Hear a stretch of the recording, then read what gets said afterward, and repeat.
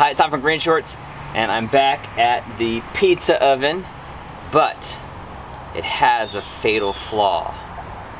Turns out that, while mineral wool is an excellent insulator, it's not the kind of thing that you should use when you're making food.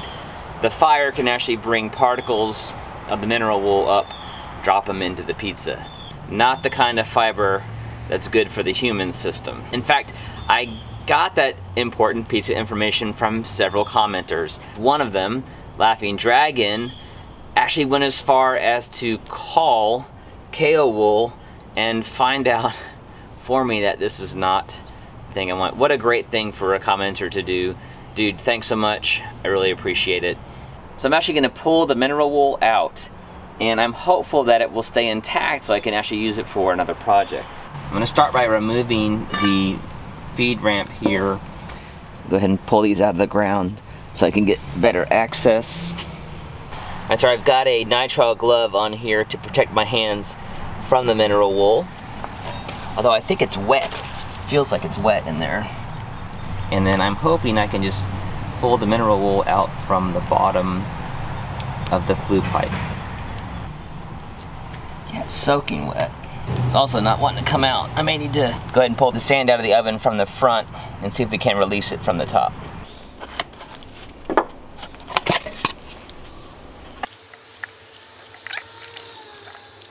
So I'm gonna pull out as much of the newspaper as I can and some of it will be kind of stuck in the concrete which will just burn out when the oven gets used for the first time. This wood is actually swollen up with the moisture, so I may not be able to get this out just yet, but I'm gonna give it a try.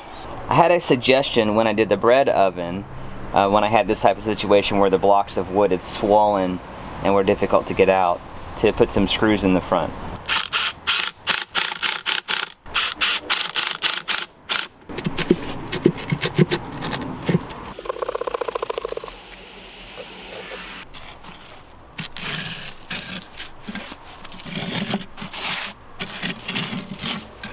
Get to these blocks in the back.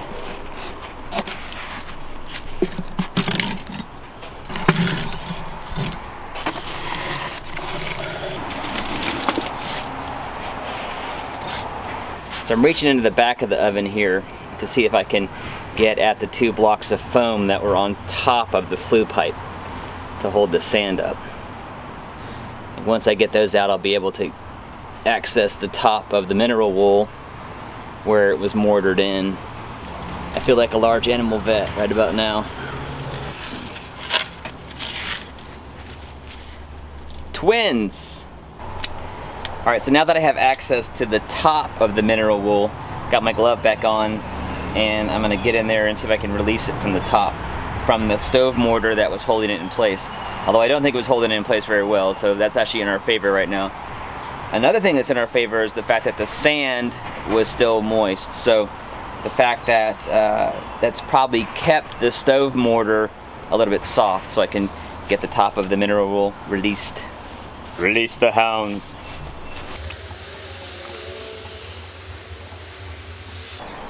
Alright, so I think I've gotten the mineral wool released all the way around.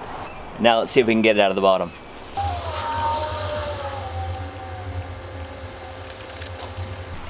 I'd like to avoid destroying this if I can because it's expensive. or let's say it wasn't cheap.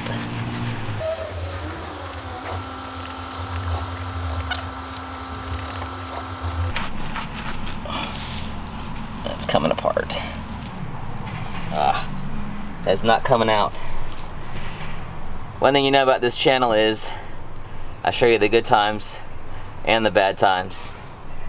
But I think I have a solution here, but it is going to be a bit drastic. The mortar that I use to seal these bricks is not waterproof, so I think it's actually still a little bit soft here. So what I'm going to do is use a mallet to dislodge the bricks on this side and hope this whole thing doesn't fall down. Um, and then that should give me enough space to work the mineral out the rest of the way. I'm going to try it at this point and just see if I can get it to come down and then I can just tap these bricks back in. If I can keep them underneath this that would be a good thing. This is definitely an experimental channel. Sometimes I learn things the hard way. It's like a calf coming out of here.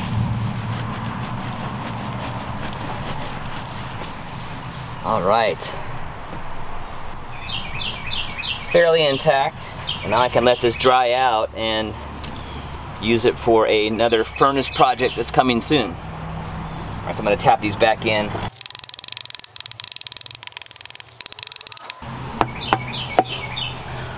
All right, disaster averted.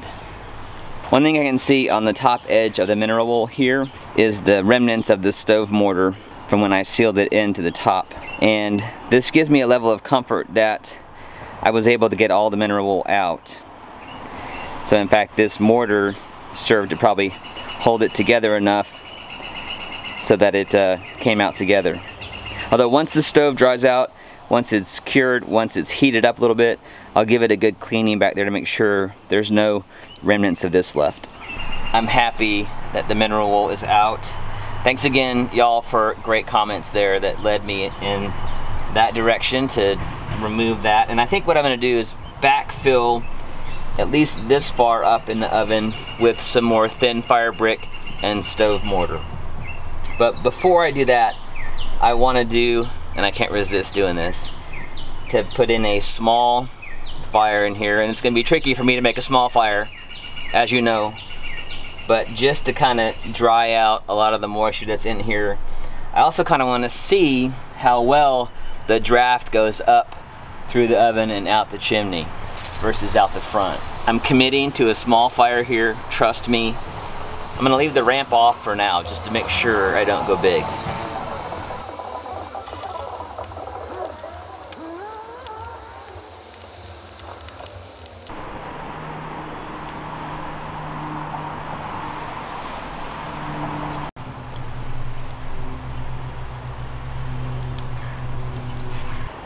Not a lot of smoke happening right now just because the fire is burning cleanly.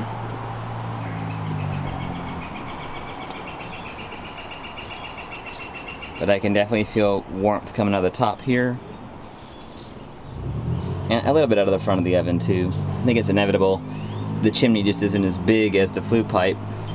So we're gonna have to split the difference between the chimney and the front of the oven. There's definitely some thermal layering happening here.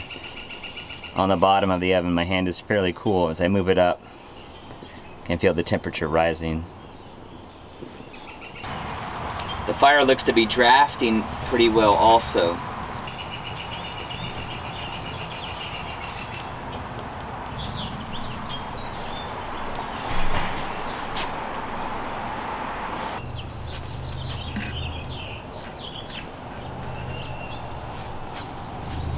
So when I cover the front, I can tell there's a lot more smoke coming out the top. So the heat is finding that path. The question is, is it enough to draft? So ideally, I'm gonna have a door on the front of the oven, but we'll need to make sure that that works draft-wise so we still get the rocket effect from the stove portion. So I'm not gonna let this fire get any bigger, rather let it burn out just like this. And I think that's got enough residual heat in the stove and the oven to dry out the moisture that's there and let the concrete continue its curing process. So I've got another couple weeks to wait for this to be finished curing and I will pass the time doing this. Yeah, so about that two weeks. Been more like four months. Sometimes life just gets in the way. But I think I'm safe to say that the concrete has cured and it's time for us to test out the pizza oven with a full-fledged fire. Before I do that, I'm gonna add the thin fire brick and mortar to the inside of this section of this flue pipe to help it handle the higher temperatures down here in the bottom portion of the rocket stove. So I'm gonna butter the back of each of these bricks and fit them up inside the flue pipe.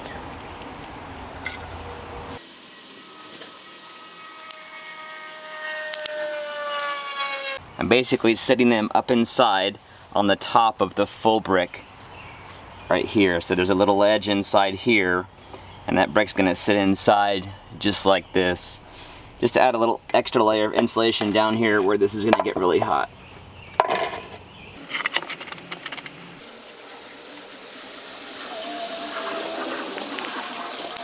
The jury is actually still out on this flue pipe because it's not made to handle high temperatures and I've heard it crack a couple times during an earlier firing of this stove.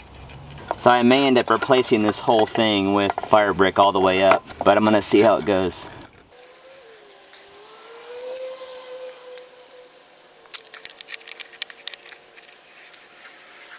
Most of the, the heat of the fire is usually concentrated in the back of the, the rocket stove. So I'm a little bit concerned about this exposed surface right here, but I'm not gonna do anything about it just yet. Let's see if I can get you to look up inside here. All right, that'll have to do for this retrofit. Once this is dried and they're more secure, I'll probably come back in and fill in those gaps in the corners there between the bricks just to add a little more insulation. But for the purpose of today's test, we're gonna go with it like this. On the top side, I'm gonna do a little cleanup. I'm gonna use my phone light and take a look at the connection between the stove and the oven to confirm that all the mineral wool is gone. All right, let's fire it up. Before I put the ramp back in, I'm going to raise the hearth up a little bit so it's level with the floor of the firebox.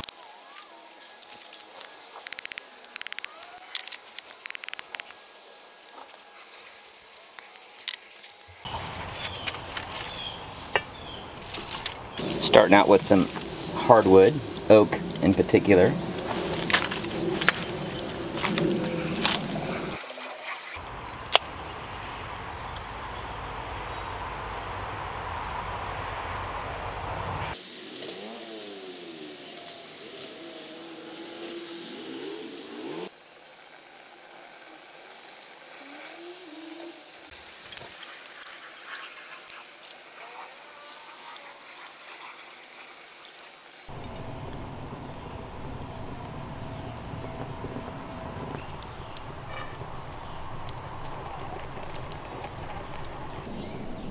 A nice intense heat coming up here to the top. Let's keep this fire going. So I'm already figuring out that the angle of the ramp here is just too steep.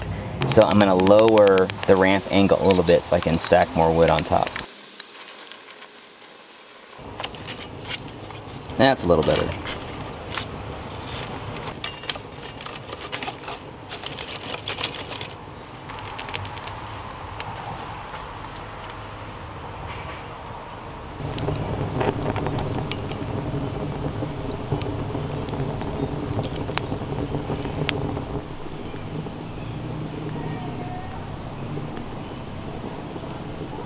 Thing I'm noticing that I'm not really sure about is there's some ash building up here on the floor of the oven.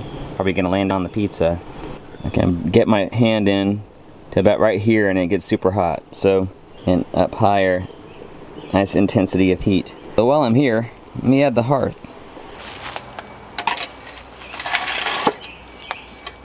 This chunk of marble, actually a gray marble, is from right here in North Georgia. The funny thing is, though, I've had this piece of marble for almost 20 years now, and I haven't figured out something to use it for yet. So here you go, 20 years in the making. I picked this up when I was on a trip with some friends in the town of Ball Ground, Georgia. I think I paid 20 bucks for this. So I think what I'm gonna do, because of the ash, is get the stove good and hot, and then let the fire die down a little bit so the air isn't pulling quite as hard, and then hopefully it won't be pulling as much ash up the chimney.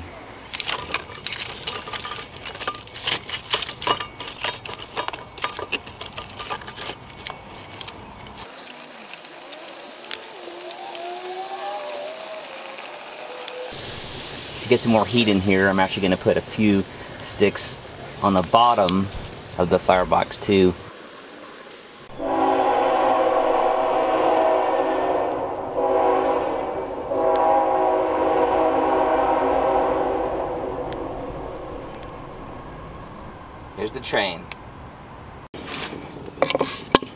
So while the oven's warming up, I'm actually gonna go ahead and put the door on the front, the temporary door that is, just to hold as much heat, let that rebar in the roof absorb heat as well. All right, let's go make a pizza. I've actually got some pizza dough proofing here on the porch.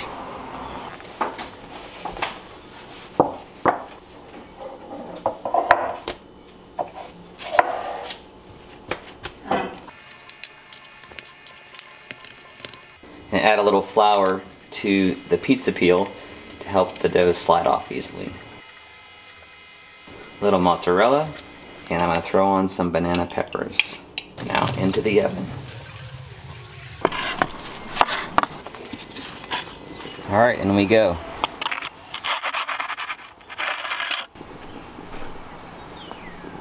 Now a true brick oven fired pizza cooks in about 90 seconds at about 900 degrees. At least that's what I've heard. And I don't think I'm producing that kind of heat with this oven. I also need to turn this thing, which I didn't think about when I stuck it in there. Cheese is melting on the back half.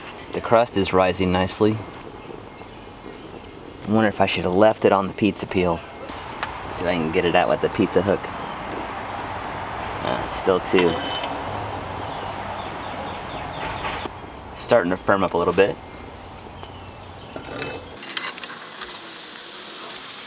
Stick the door on for a second.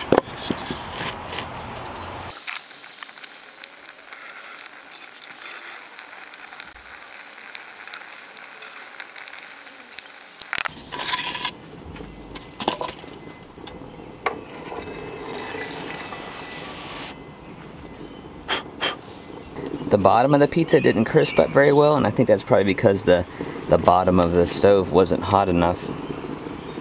So what I might do in the future is actually slide this thing in on a pizza stone which I've got preheated. So it does bake the bottom of the pizza better. If I were on the Great British Baking Show I'm sure Paul would say there's a soggy bottom. It's a shame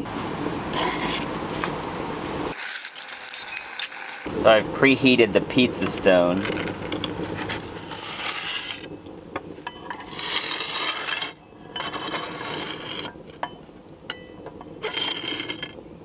I'll be honest, this is harder than I thought it was going to be. But practice makes perfect. I am happy with how the stove is performing. I'm seeing a little crack right here where the rebar ends and where this uh, curved section starts to see what happens with that.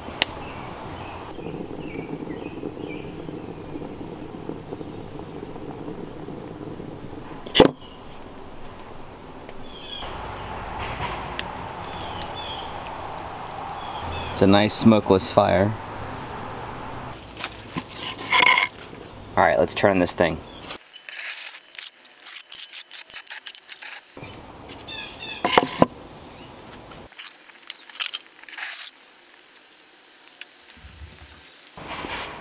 Ooh, hot. I think I probably had too much, too much sauce on there, too much moisture. And the crust is a little overcooked. Alright, so I think I'm gonna need a little bit more practice making pizza. But I do think that the stove and oven combination performed pretty well. So I'll monitor the flue pipe to make sure it doesn't crack. So I'm gonna let this cool and have a bite. Maybe I'll eat the whole thing if it's not too doughy in the middle. Once I get good at using this pizza oven, I think I'll probably make it a little bit more decorative with the tile on the front, perhaps on the sides. We'll see where the stress fractures happen with the heat and then figure out where tile is actually gonna work. It's perfectly functional like this. I do think I will make a proper door for it as always, our mission here at GreenShortz is to help you see green so you can be green and save a little green by doing it yourself. Although I think probably for the effort that I put into making this stove, I probably could have bought one. In fact, I'll put a link to a pretty interesting pizza oven that's available on Amazon in the description below if you're interested in trying something like this in your backyard. Please keep the comments coming. I know you're gonna probably have some good ones on hmm. pizza technique for me. I've got a lot of learning to do there. It's got a soggy bottom. That's a shame. Thanks for watching. We'll see you in the next one.